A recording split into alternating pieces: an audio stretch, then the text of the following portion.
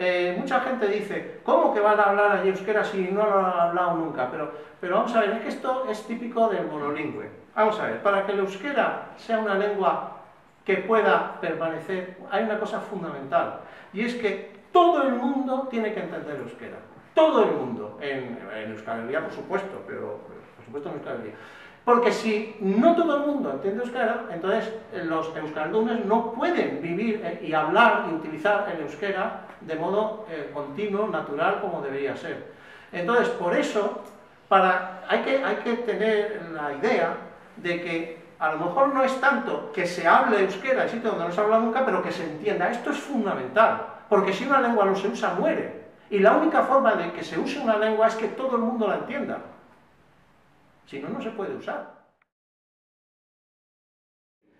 El concepto de lengua común, como se ha desemnizado, se ha llevado a un plano superior, los que defienden la lengua común no defienden una nación, lo que están defendiendo es un bien común, un bien común no ya del Estado español, sino de toda, de toda América hispana, es decir, es un bien común internacional, por tanto no son nacionalistas. Sin embargo, estos mismos dicen que los que defienden el euskera o los que defienden el catalán son nacionalistas, porque no ven más allá de su nación, si están, digamos, eh, cegados por su nación.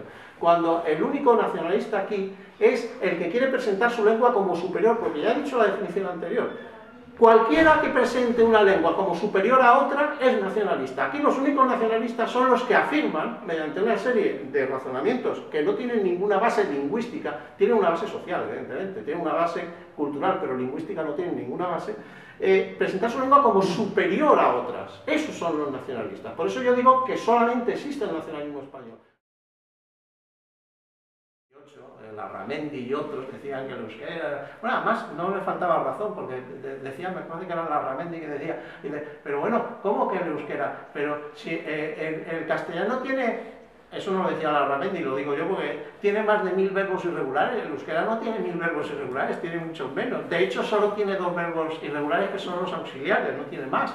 ¿eh? Eh, y decía, no, no, el euskera es un idioma más perfecto, es un idioma... Eso lo decía la Ramendi y tal. Pero bueno, yo creo que en la... La Ramendi, ne usted da euskal len, euskal humorista.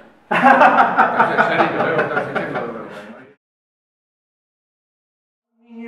Eh, que se educa en Euskaldun para aprender, en un ambiente Euskaldun, para aprender euskera y cuánto tarda un niño para aprender castellano. Si resultara que al año el niño empezara ya a hablar en castellano, pero tardara ocho años en empezar a hablar euskera, pero esto no es así. Esto no es así. Todas las lenguas del mundo son adquiridas por los niños de modo natural en un plazo de tiempo que varía mucho, pero individualmente hay niños que, empiezan a hablar antes que otros, pero es variación individual, igual que hay personas más altas y más bajas, más delgadas y más gordas, pero eh, digamos que existe eh, una fase, que es, una fase eh, inicial, que acaba más o menos en la adolescencia, donde está abierta la ventana del aprendizaje de las lenguas. Entonces, alguien puede decir, el chino es muy difícil, sí, es muy difícil, pero los niños, un niño de tres años, habla, de cuatro años, habla chino mejor que un adulto eh, español que lleva estudiando chino 10 eh, años.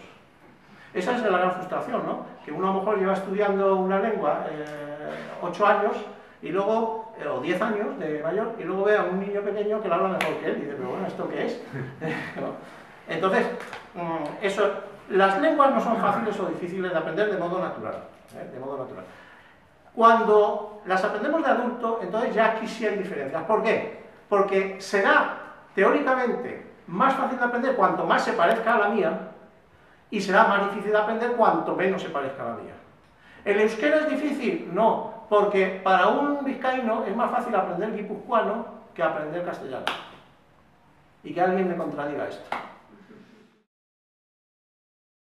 Por ejemplo, si yo digo, yo eh, no hablo catalán, pero lo entiendo perfectamente, la gente dice, ¡uy, qué bien! Pero si un catalán dijera, yo no hablo español, pero lo entiendo perfectamente. ¡Oh, es el alfabeto!